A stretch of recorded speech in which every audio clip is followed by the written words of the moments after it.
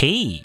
So, there's this game called Undecember, which released just a few weeks ago on Steam and has been heavily downloaded due to its quite successful demo. But upon release, the game wasn't really anything special outside of just another Diablo clone. However, what made this game controversial was not the gameplay itself, but what's secretly installed on your PC, along with the game. A rootkit called nprotect Game Guard is covertly installed on your PC. While on the surface this just seems to be a simple anti-cheat program, but actually, a rootkit is a set of software tools that enable an unauthorized user to gain control of a computer system without being detected. So aside from all the potential problems with performance, stability, and security, you may even get your personal data stolen.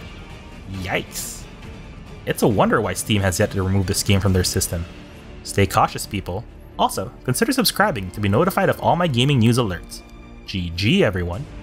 Peace!